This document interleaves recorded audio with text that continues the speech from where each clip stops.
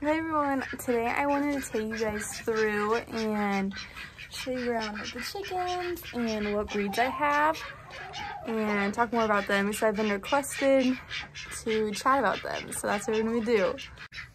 Okay, so I have multiple Easter eggers and this is what they look like. And they lay a light greeny egg. Um, it's, it's more blue than green, but it's like in between blue-green eggs. There's another one. I'm hoping this guy will be an olive egg right here. There's more. These ones right here and here, they um, are laying already, so I know what color they lay, but these ones are my teenage pullets, so they haven't started laying yet. This is a Rhode Island Red. Um, I think that's an Issa Brown, or it's one of like the Cinnamon Queens or I know it's a brown, uh, a really good brown egg laying mix. Mostly I have Easter eggers. That is a an Ancona, Anaconda chicken. They lay white eggs. I have two of those. And then this one, I believe, is a light Sussex chicken. It hasn't started laying yet, but I expect it to here soon. But yeah, mostly I have these little Easter eggers and they have these cute little fluffy cheeks, as you can see. And then over here I have a, she's supposed, supposed to be Americana. Um, she's kind of the bully of the pack. And then this one's a mix, so I'm not really sure what breeds it is exactly, but I think she's a Marans wine, Wyandotte, Wyandotte mix. She's gray and she lays like these really cool brownie green speckled eggs. I can't tell if she's an olive egg or not because they're more brown than green. Then I'm hoping those little guys will be olive eggers since they're a little darker, but they could just be Easter eggers as well, which I'm cool with. The Easter eggers are pretty friendly, but they don't really like humans all that much, so they don't really like when I hold them or anything. My other chickens must be laying because Duck, he's a buff Orpington and he, I guess it's a sheep, but we call him a he. He's the most friendly. Here's the other Ancona chicken.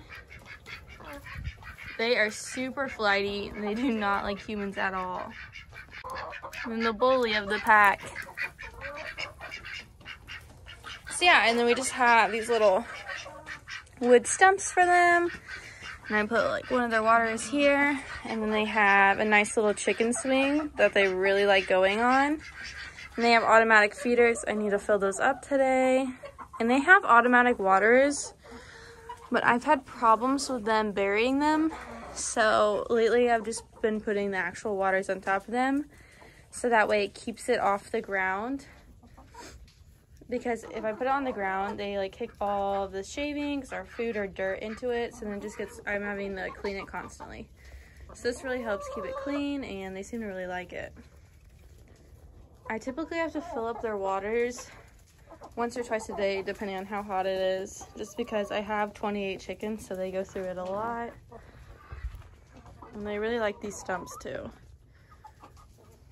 Oh, and then this one, I believe she's a barred rock. She should start laying here soon. All of my teenage ones should start laying within the within a couple of weeks, I think. And then these are, this one's more of a baby. It's a silver, no, it's a blue red-laced Wyandotte, Wyandotte, I can never say it right. They're younger. I just got them in October, or the end of October, so they probably won't start laying until April, May. So here's the rest of them. So lately they've been like charging at me. So I don't know what their deal is because they never did that before. I think they think they're each other's mate even though they're both males. So they try to protect each other. But they're still hilarious. We are building a pond for them so that way they'll have more room because right now I'm just filling up a kiddie pool every day. This is Penelope and that's Raisin because we thought Penelope was a girl. She's also a male. You can tell if they have two curled tail feathers in the back, like that, it means they're a guy. And I need to clean their pool. It's usually not this dirty, but it just rained this morning. But here's their little area. They have all this little area to run around and dig holes in the mud and find bugs. But we are building them a pond, so they'll have a way bigger area, and I think they'll be way happier there too. And this is the outside of my coop. There's a ton of cardboard because I'm using it as a weed, a weed barrier. Because I'm to be putting in a perennial garden around here. There it is. And I'll take you in the inside now.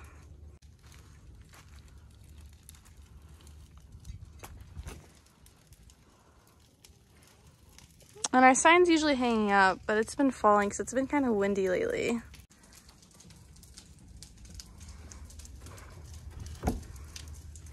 And then this area, kind of dirty right now, so apologies, but this is like our storage room. So I have old, old feeders here, some more storage. They're fine shavings I use from Tractor Supply. And it's nice because it has two windows in here. So it's nice to ventilate it. And the door into the main part. And then I keep their food in here. They're kind of running low, but their food's in here. And some scratch grain in here. Keep their cleaners up here. And then they get a view of my flowers. Okay, so here's the inside. And I've had an issue lately. These are all the freaking younger chicks.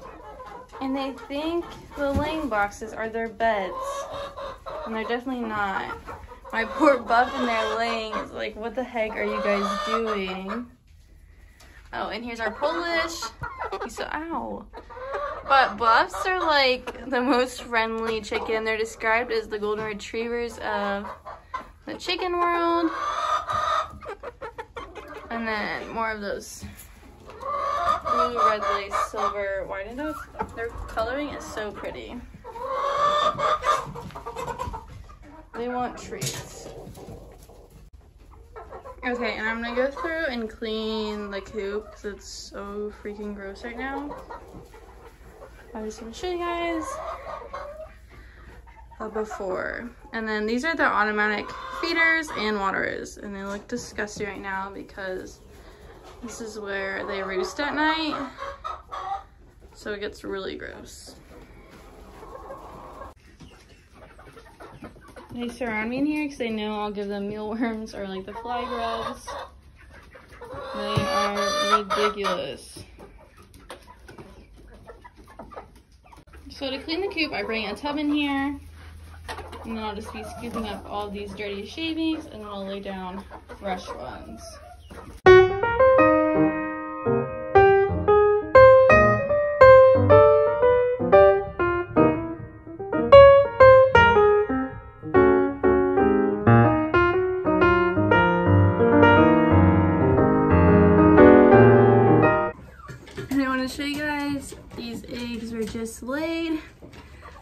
My Buff Orpington.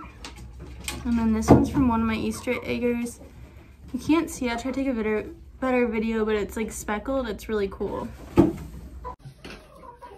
Okay, so now I'm just gonna go through and spread these fresh shavings all over the floor and in their laying boxes.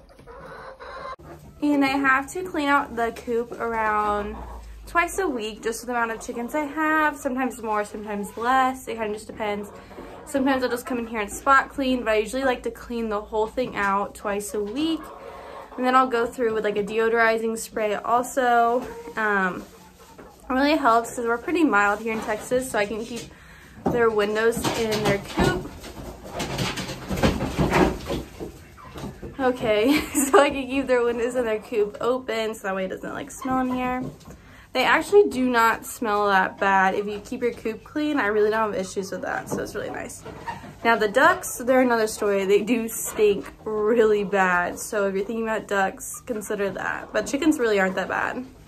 So I'll just be going through and filling up their feeder. And then I also add two scoops of this vitamins into both of their food things. And this is just layer pellets and then scratch grain mixed together. And then once this gets low, I'll put the flock maintainer and then I'll mix another um, layer pellet with that. And I wanted to show you guys these. They're the fly grubs. Um, I used to give them a lot of mealworms, so they were super expensive, like $30 a bag. And then I found out that mealworms really didn't have that good of protein slash calcium in them. And these ones have 36 to 42% calcium. I mean, not calcium, protein, and 2 to 5% calcium in them. And they seem to like these a lot more. And I got these off of Amazon. And they're like, I don't know, 12 bucks for a pound. So it's actually pretty good. I'll show you guys. They literally go crazy.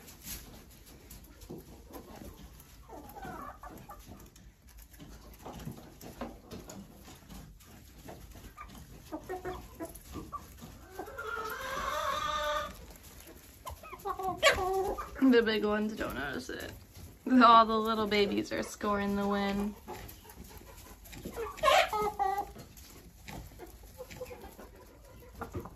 They're dumping all the food out, of course. Oh. Okay, so first we have my top pick, and it's this chunky gal.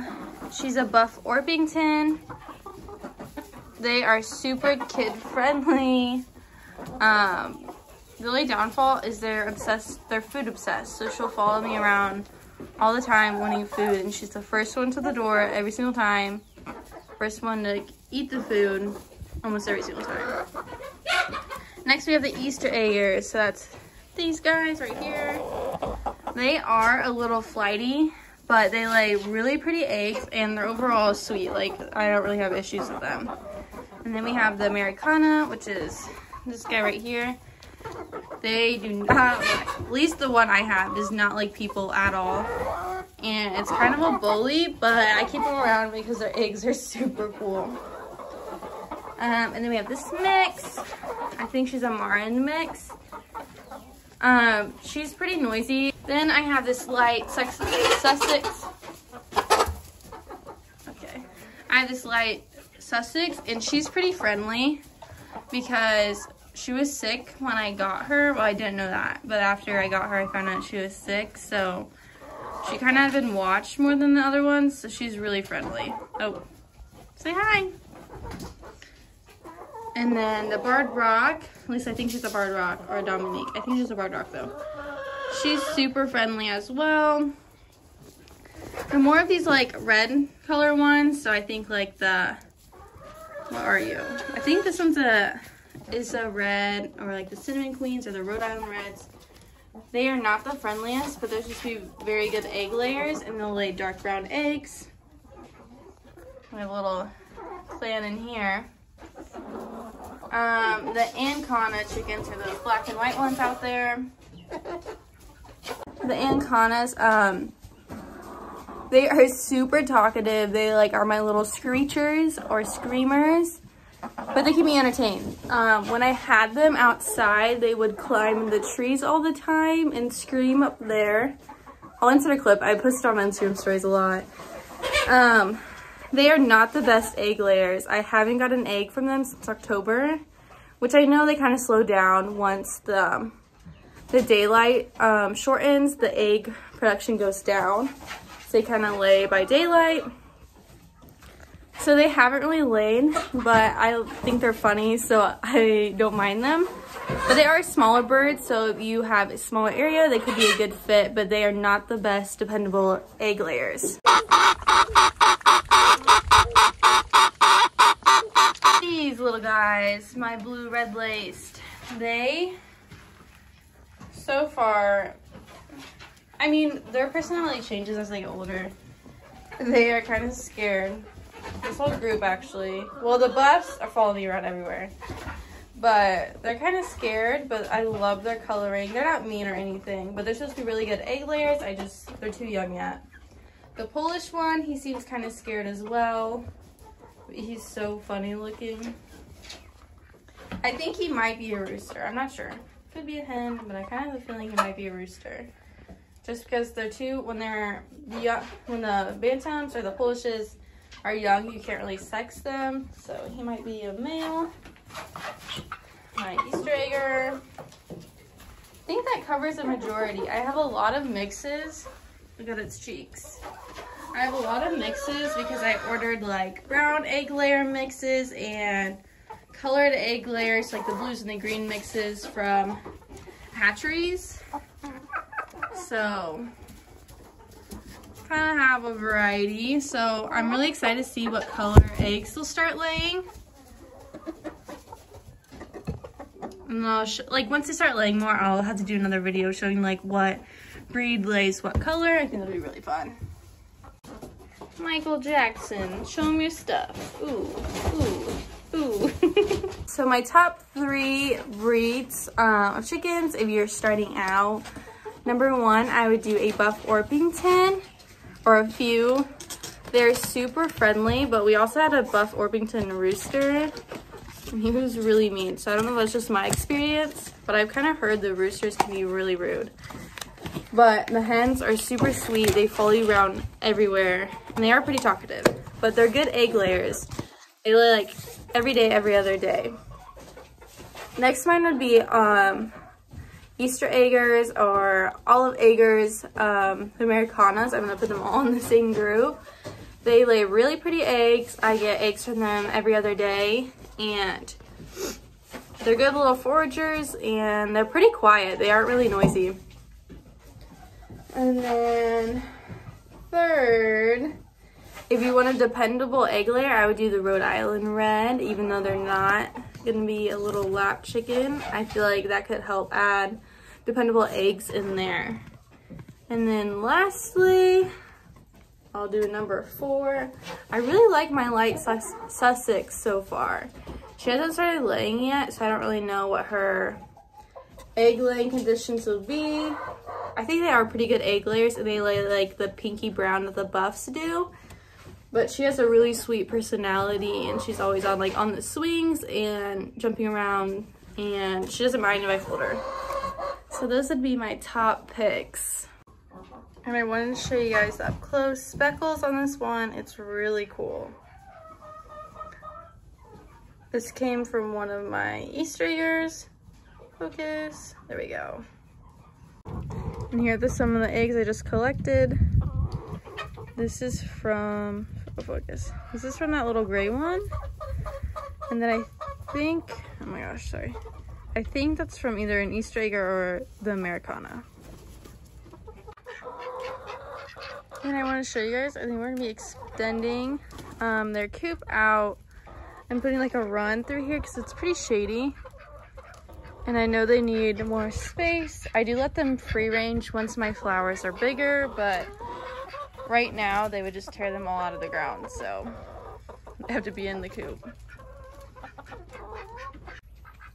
And another thing I want to touch on is why my chickens aren't free range all the time. We have pretty severe hawk and turkey buzzard pressure here and foxes and dogs. So Mine have died a few of those ways. So for now, especially with them, half of them being little, it's just safer for them to be in there. But um, definitely the spring and summer, I'll let them out. But that's one of the problems. we have all that pressure around here too.